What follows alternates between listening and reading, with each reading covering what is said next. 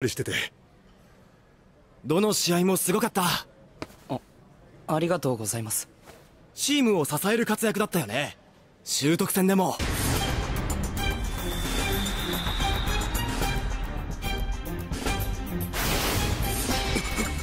バニシングドライブ！抜かせねえ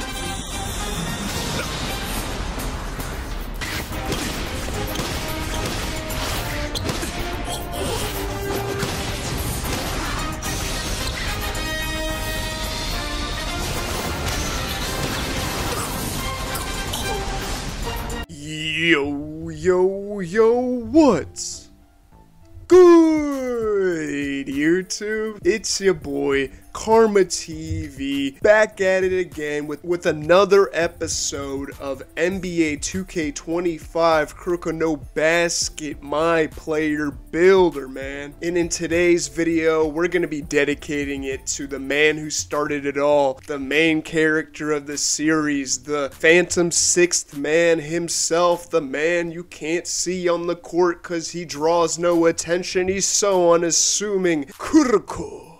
Tetsuya, bro. And before I get into it, a lot of my builds are not comp. Anyways, y'all, without any further ado, let's get into the video. Alright, man, so boom, look, listen. First things first, you're gonna, you know, obviously name him after Kuroko if you want. Hand, right or left, doesn't really matter. And go jersey number 11 to stay true to the anime. Alright, now for the positional settings. We're gonna go point guard. I know he's like technically a shooting guard. I mean, technically, they have like question marks by his position. So, either way, we're to go point guard for mainly his height and for the stats you can get. Speaking of height, we're to go 5 foot 9, which is incredibly short. But for some reason, it gets the best stats, and Kuroko is about 5 foot 4, 5 5 in the anime. I mean, it's kind of crazy. I'm about like 5'11, so it's weird to make a build shorter than you in real life. But hey, man, we're making Kuroko out here. Weight, you're to want that at 175 pounds, mainly for the perimeter defense, and then wingspan at 6 foot 1. Alright, so because this is Kuroko, we're to head straight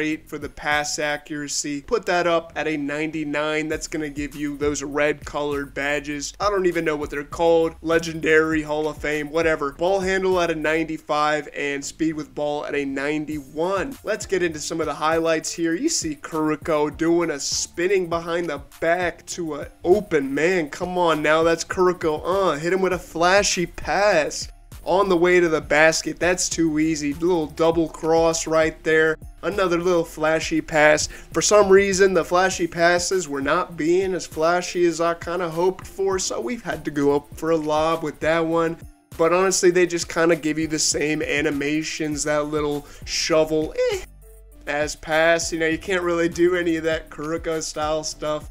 But, you know, with a 99 pass accuracy, for the people that were complaining, oh, this build pass accuracy too low, man. What do you mean, bro? Just learn how to pass. Just don't pass in the lanes. You see me. Oh, that was a nice one right there with the behind the back. Can we get another one?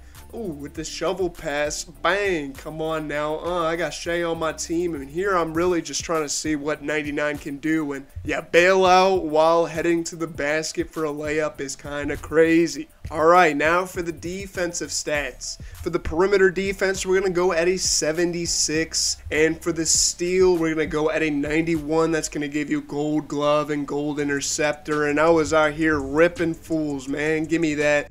Try to go behind your back. Okay, Jalen Williams with that little double clutch slam. That was kind of ugly, though, but it's all good. We're coming up on, I think that's Dyson Daniels. Give me that for three. Green Bean. Come on now, Dyson Daniels. You ain't learned your lesson, homeboy. Give me that. Hey, with the contact finish over Capela, that was a little ridiculous. Bogey, give me that, bro. Where are you going with that spin move? And A.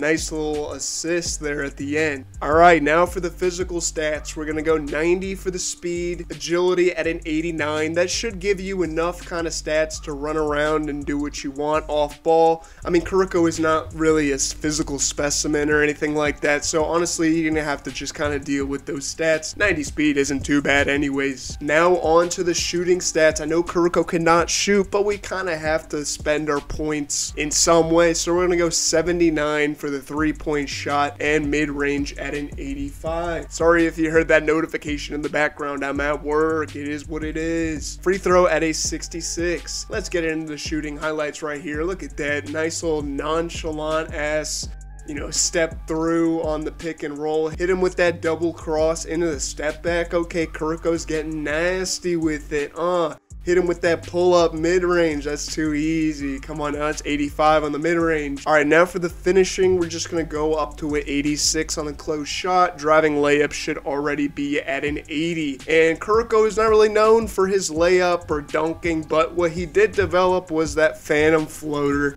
So I'm just trying to show it off right here a little bit. Dude, ooh, nice little spin move to the cup. Uh, too easy, bro. That's that 80 driving layup right there. Another floater. With that 80 driving layup, you should be able to get some decent animations. And around this build out, I just went to a 36 strength because people are going to see you at 5'9 and just try to back you down. But it is what it is, man. And that's going to be the stats. I'll let y'all pause it right here and take them down.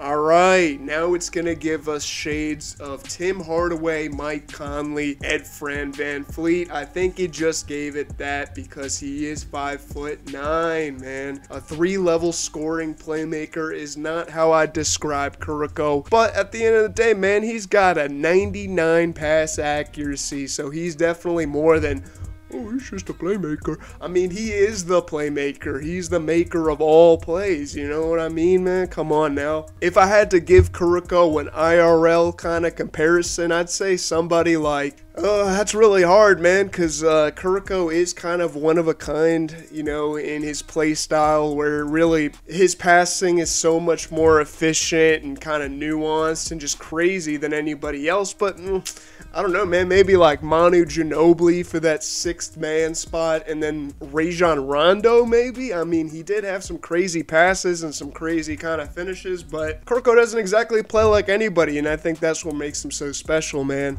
But yeah, man, with that, that's to be the Kuroko build. Leave a like if you enjoyed the video. Do all the typical YouTube fun stuff. Comment, share, subscribe. And yeah, man, with that, I'm out, y'all.